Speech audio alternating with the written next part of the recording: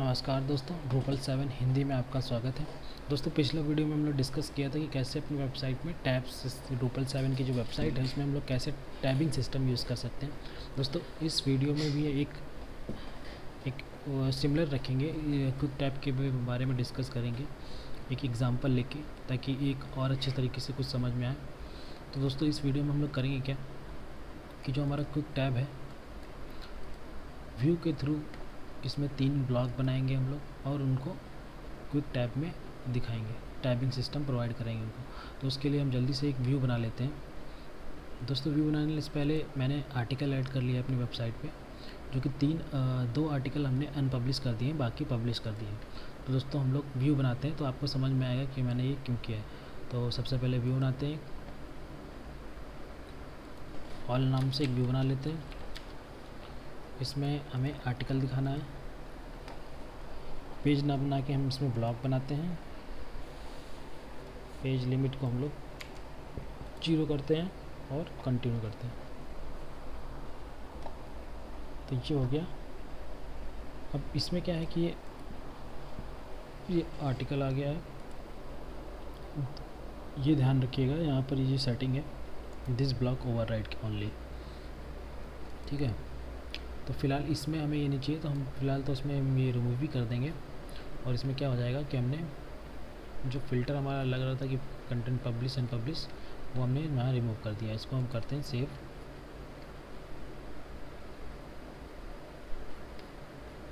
और उसके बाद हम इसमें यहीं से एक नया ब्लॉक ऐड करेंगे।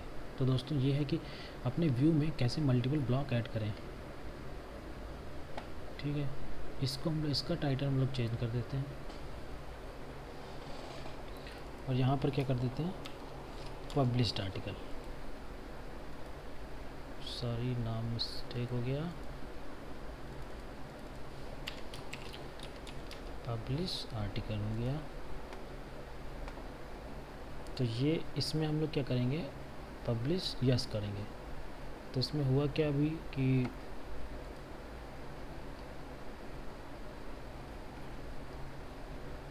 इस वाले में हमने, हमारा कर जो कंटेंट पब्लिश था वो पब्लिश रहा।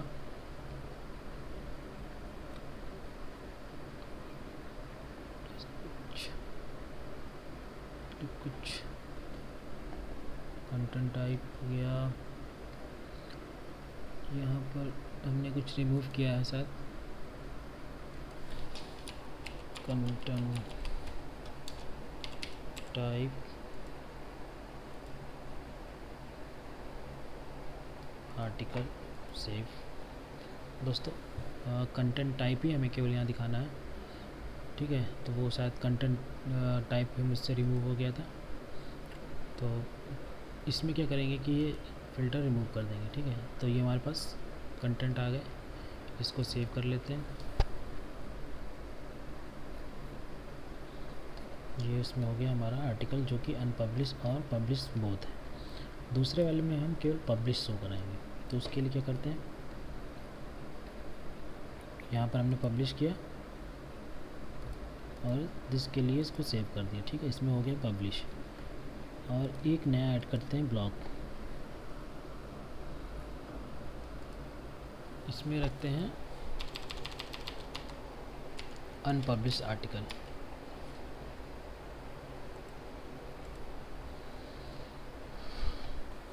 इसमें क्या करेंगे? नो बट ऑल डिस्प्ले के लिए ना करके this block override only apply ठीक है? अगर हमने सबके लिए कर दिया होता तो यहाँ जो हमारा पब्लिश में यस था वो नो हो जाता ठीक है? तो इसको करते हैं हम लोग सेव एक बार चेक कर लेते हैं कि सब सही है। आ, इस ऑल में चलते हैं इसका नाम यहाँ पर ऑल कर देते हैं। अप्लाई सेव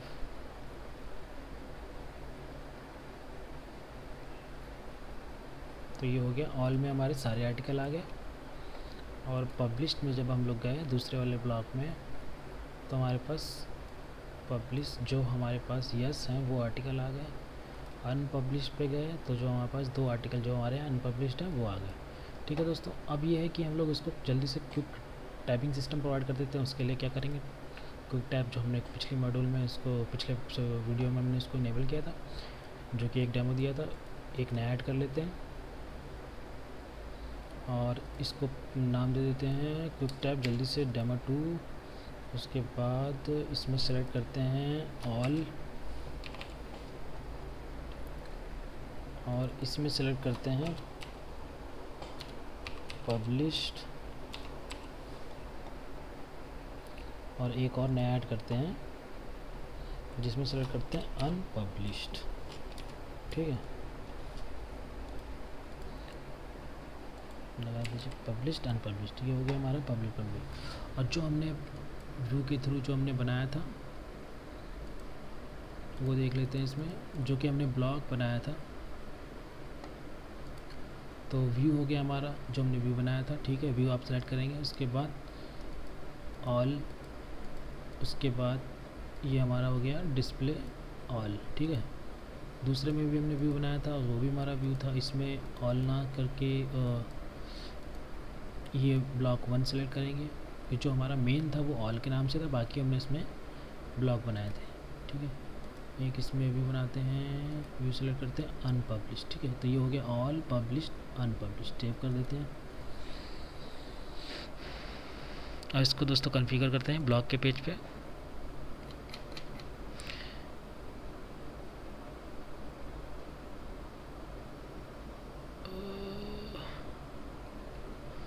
किस नाम से हमने बनाया था, देखना पड़ेगा।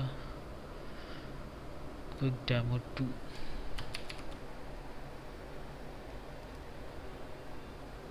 structure block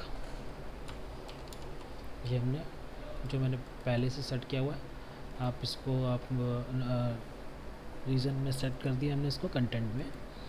ठीक है? उसके बाद फ्रंट पेज में इसको दिखा दिया। इसकी सेटिंग्स ने पहले से ले ली, क्योंकि पहली बार, पहले क्रिएट हो चुका ठीक है? तो अब इसमें होम पेज पे चलते हैं। तो ये हमारा आ गया ऑल आर्टिकल ये आ गया हमारा पब्लिश्ड आर्टिकल और ये आ गया हमारा अनपब्लिश्ड आर्टिकल तो दोस्तों, इस तरीके से आप यहाँ पर कोई भी स्टाइल दे दीजिए जो आपको चाहिए और बाय डिफ़ॉल्ट जो टैब आपको ओपन करना है, वो उसके बाद सेव कर देते हैं। तो ये था दोस्तों कि टैबिंग सिस्टम अपने वेबसाइट में कैसे यूज़ करें, व्यू, एक जो हमने व्यू बनाया, उसके थ्रू ब्लॉग्स बनाए तो वो कैसे यूज़ करें। आशा करते हैं कि अब क्विक टैब जो जो टैबिंग सिस्टम है, इसमें आपको कोई प्रॉब्लम नहीं आएगी। अगर आपको कोई इशू होता है, प्रॉब्लम होती है तो कमेंट कीजिएगा, हम उसका रिप्लाई करेंगे। तो दोस्तों, इस वीडियो में इतना ही रखते हैं। मिलते हैं नेक्स्ट वीडियो में, तब तक के लिए नमस्कार।